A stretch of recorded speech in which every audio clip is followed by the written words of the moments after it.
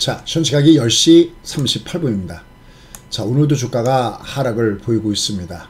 코스피가 마이너스 12포인트 빠지고 있고요. 코스닥도 마이너스 4포인트입니다.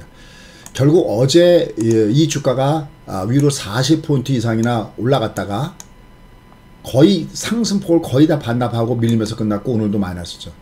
자, 이미 어제 여러분께 말씀드렸던 대로 이 빅픽처 그림이 굉장히 중요한데 어, 어제 상승이죠.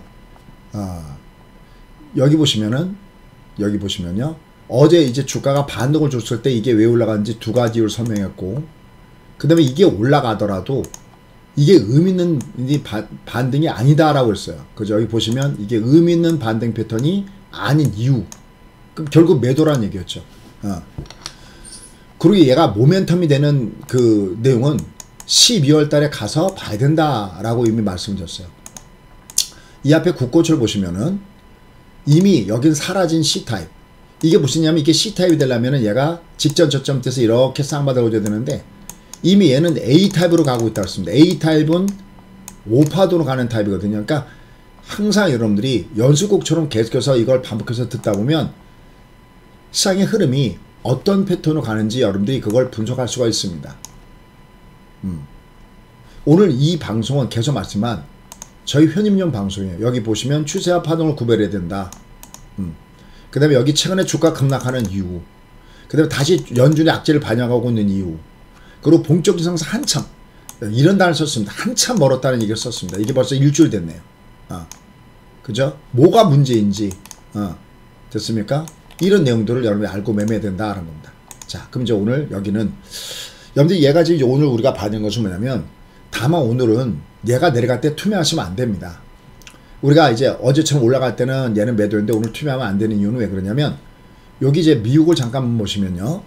이게 미국이 올라갈 때 얘가 의미 있는 상승을 주려면은 어떻게 상승을 줘야 되냐면 요거 그래프 볼게요. 아, 여기 지금 이렇게 이제 어제 올라갔어도 이건 이제 이건 아니라고 그랬거든요. 이게 왜 아니냐면은 이 얘가 위에서부터 꺾어져 내려가는 모양을 잠깐 볼게요. 여기서 꺾어져 내려가는 모습이요. 요걸로 분봉에다 다 볼. 요 분봉이 요게 이게 이게 이게 아주 중요해요. 저게 위에서 꺾을 때 모습 보면은 자, 그게 뭐랑 똑같은 거냐면 요거랑 똑같은 거예요. 요거요. 여기 위에 이 보라 색깔 선 있죠? 이게 이게 그 선물 차트에서 이게 5일선이에요. 그럼 요거 많이 익숙하죠. 이거 엠파동 실평 보이죠? 녹색에 이렇게요. 이렇게. 이게 5일선에 꺾어 내갈 때 모습이에요. 그럼 얘가 의미 있는 상승을 주려 그러면은 얘가 요, 요, 요 라인에서, 여기 라인이요. 이, 요 라인에서 이게 녹색이 역으로 이러, 얘처럼 이렇게 N자를 줘야 돼요. 근데 그거 이전에 얘가 만약에 올라갔다가 이렇게 쌍맛을 이렇게 올라가주면 얘가 제법 반동을 줄 수 있어요. 아셨죠? 그래서 얘는 이게 올라가더라도 음, 이게 올라가더라도 20이 상방을 줘야 안전하게 의미가 있고 아직은 의미가 있는 건 아니에요. 다만 얘가 쌍받으면 좀 올라갈 수 있다라는 부분에서 현재 미국 주가가 여기를 안 깨고 있다는 점. 여기요, 여기요. 직전 저점대 영역이죠. 이게 중방이니까 중방 찍고 조금 오버슈팅이 되더라도 여기 어바웃 근처 여기를 살짝 깨더라도 여기 근처에서는 얘가 자꾸만 반동을 시도하려고 할 겁니다. 하지만 여기서 주가가 들어줘도 이 앞에 그림을 보시죠. 얘는 어떤 성지냐면 5파동으로 이렇게 빠지거나 근데 지금 현재 얘가 5일선이 1, 2, 3파동 중이고요. 혹은 특히 얘가 이렇게 갈 때는 이렇게 쌍바닥을 줘야 돼요. 이렇게. 이렇게. 등치가 클수록 이 법칙이 잘 적용이 돼요. 그러니까 쌍바닥이 이렇게 더블장 쌍바닥 있고 N자형 쌍, 쌍바닥이 있고요. 꺾을 때는 쌍봉 M자형 쌍바닥 쌍봉이 있고 역N자형 쌍봉 있잖아요. 이렇게 역N자 여기가 무서운 거죠. 역N자형 쌍봉이. 그러니까 얘는 올라가더라도 얘는 다시 또 내려와야 됩니다. 그러니까 아직까지 얘는 추세를 돌리는 건 아직까지 먼 얘기예요. 다만 얘가 워낙 많이 주가가 내려와져 있고 이에 따라서 결정적인 반동을 줄 수 있는데 마침 연휴가 있으니까 이건 그 다음에는 이게 알 수가 없다라는 얘기죠. 음, 그러니까 어제처럼 올라갈 때는 이건 올라갈 때 가짜니까 가짜니까요. 무조건 매도잖아요. 어차피 얘가 올라갔어도 얘는 가짜였잖아요. 그죠? 왜냐면 이 엉덩이가 이렇게 쳐져 있을 때는 이게 이렇게 낮을 때 이건 가짜예요. 가짜 바닥, 가짜 바닥, 가바닥. 얘가 여기가 왜 이렇게 많이 빠졌냐면 이게 이게 낮아질 때 이거 low candle이라고 합니다. low candle. 낮아지면 얘가 꼭질 때 이게 많이 나오는 거 low candle. 이렇게 low candle. 어, 시작을 잠깐 보시면요. 이런 것들은 여기 조금만 다리품만 조금만 팔아만 주신다면 조금만 내가 시장에 관심만 가져준다면 쉽게 알 수 있는 진짜 very easy 매우 쉽고 very simple 정말 간단하고 하지만 very 고급 그 결과는 여기도 한번 볼게요. 여기 보시면요. 이, 얘 같은 색깔끼리 더해 볼게요. 얘가 이렇게 낮아질 때가 이게 이게 이게 이게 충격파인 거예요 이게요. 이게 이게 이게 충격파인 겁니다 이게. 여기 보시면 기초 분석에도 여기 저희는 이런 차트가 다 안 들어있거든요 여기 이렇게 충격파. 얘도 여기 이렇게 보면 이게 충격파인 어디 갔어 이게 충격파인 겁니다 이게. 낮아지는 게 이게 이게 낮아지는 게 여기가. 여기가. 어. 이게 매도의 충격파인 겁니다 이게 어. 낮아지는 거 보이시죠 이게 낮아지는 게 충격파 이게 이게 올라가도 이게 이게 엉덩이가 낮아 있기 때문에 그래서 얘가 가바닥이고 얘는 아니라고 했죠. 근데 얘가 지금 결국 여기를 빠지고 있죠. 이게 결국 C타입으로 빠지는 겁니다. 얘가 모양이. 자, 얘를 코스피로 가보겠습니다. 음, 내려와 있죠. 여기 매도 신호가 나와 있죠. 이미 여기 또 매도 신호가 나와 있죠. 이렇게 매도 신호가 나와 있죠. low candle이기 때문에 low candle. 낮아진 low candle. 음. 그래서 여기 보면 여기 C타입이라는 게 여기 보시면 얘가 사라진 C타입. C타입은 어떤 게 C타입이냐면은 한번 보여볼게요. 자주 말씀드렸던 거니까 뭐 어렵진 않을 겁니다. C타입은 얘가 62 3파동에서 여기서 이렇게 3파동이요. 62 파동이. 어, 얘가 3파동에서 20이 여기를 안 깨고 이렇게 턴할 때 이게 C, 이게 C타입이잖아요. 근데 이게 A타입으로 간다는 것은 5파동으로 내려간다는 겁니다. 이걸 여기다가 써놓은 거죠. 결국 얘는 A타입, 5파동 구간으로 하락을 가고 있습니다. 얘가 많이 빠져서 반동은 주겠죠. 그죠? 많이 빠져서 반동을 주겠죠. 그런데 반등 이상의 의미점으로 지금 장을 접근하기는 아직 어려운 겁니다.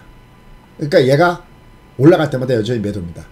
거듭 얘기지만 얘가 반등 다음 반동을 주려면 어떻게 얘가 반등은 다음 반동을 주느냐 그 그림은 이미 여기서도 이 국고추에서도 자세하게 보여드렸듯이 분봉이 이 보세요 이 분봉이 얘가 꺾어질 때는 이렇게 상방 상승의 이 파동을 주고요 N자형 내려갈 때는 N자형을 주잖아요 이렇게요 그 대신 30분봉에서 가장 빠른 신호는 30분봉에서 여기처럼 N자를 줘야 되는데 얘는 N자가 아니잖아요 지금 보세요 이거 좀 얘는 지금 일봉이죠. 분봉을 볼게요. 분봉에서 30분봉의 물결 차트 그려보면은 어떠세요? 여기는 N자였죠? 아닌 거예요. 그러니까 그래서 어제도 거예요. 얘는 여전히 매도입니다. 올라가면. 어. 여지 올라갈 때마다 매도를 때리는 겁니다. 그뭐 갖고 버텨라 좀 모아라. 그럼 뭐 그냥 뭐라고 표현할까요? 어. 그냥 이런 이런 이러한 이러한 그 구체적인 이런 알고리즘이 없으니까 이거 뭐 버티 뭐 버티라고 하지 여기서 뭐라고 하겠습니까? 갖다 투매라고 하겠습니까? 문제는 내가 오늘처럼 내려갈 때는 이건 투매하면 안 되는데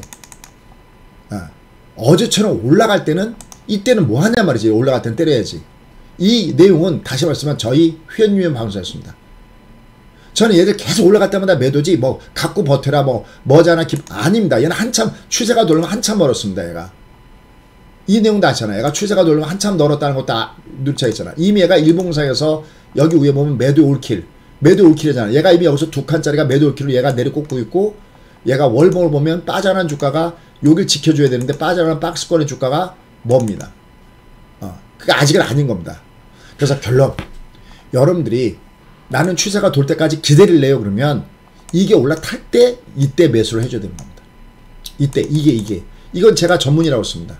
이건 아직 멀었습니다.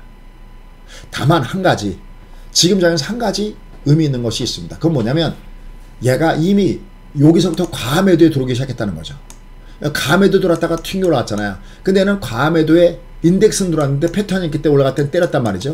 근데 얘가 또다시 여기를 깨고 있으면 얘가 이제 과매도 구간에 들어오고 있습니다. 얘는 다만 바닥을 모르는 거예요.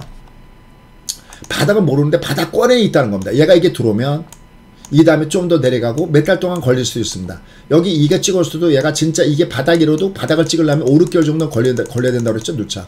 얘가 지금 이게, 내, 이게 내려가고 있는 겁니다. 얘도 여기 보시면 어떨 때는 이럴 때가 있어요. 이렇게. 보세요. 여긴 그래도 가격대 바닥이 금세 온 거고요. 여기는 여긴 다르죠. 여긴 여기 요, 요, 여기가 이제 바닥권에 왔습니다 그러는데 보세요. 그 다음 달에도 빠지고 그 다음 달에도 빠지고 그 다음 달에 빠져요. 하지만 내가 내려갈 때 조금씩 월간 단위, 맥점은 월간 단위라는 겁니다.